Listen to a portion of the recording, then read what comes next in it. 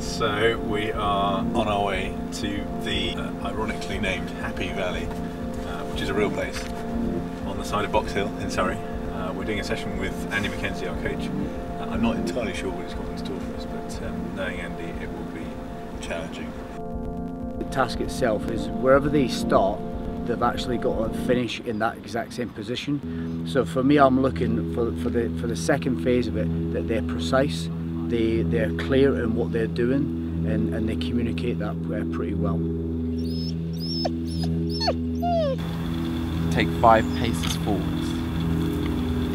Yeah, you should have ended up literally back in front of the Land Rover. yeah. Turn 90 degrees to the left. The reason why it's important is because if anything, if any accidents will happen or one person goes down or one person falls ill, they pretty much know that where each of their equipment lies down.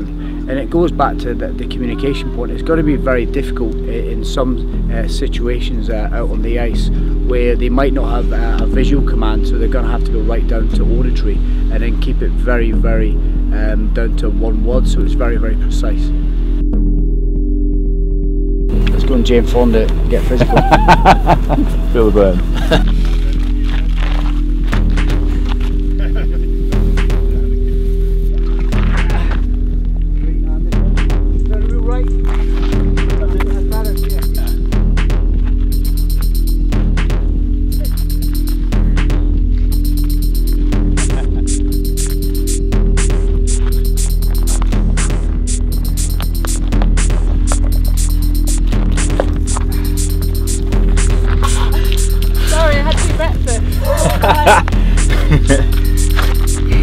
wheel left.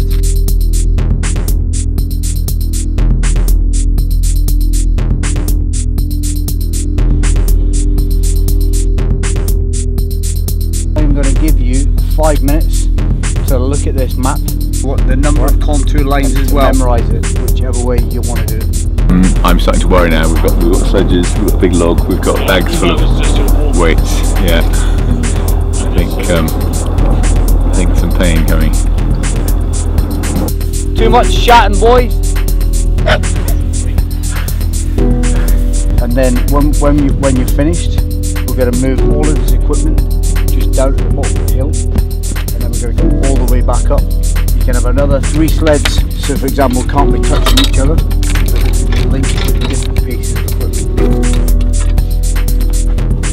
One of the things that I'm looking for now is as the guys are running up, so they, they should either be talking about the actual um, contents of the map, and as they're coming back down, ideally they want to be talking about what jobs they're actually going to do in putting the thing together, which is going to speed up the whole process.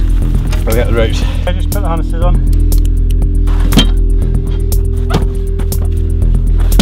As people start getting tired, they start gelling as a team, and that's really important. Less than 10 metres. Come on guys.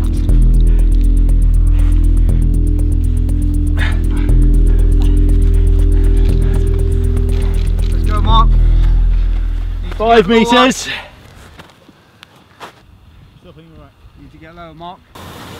This is really um, physically demanding in this isometric contraction position.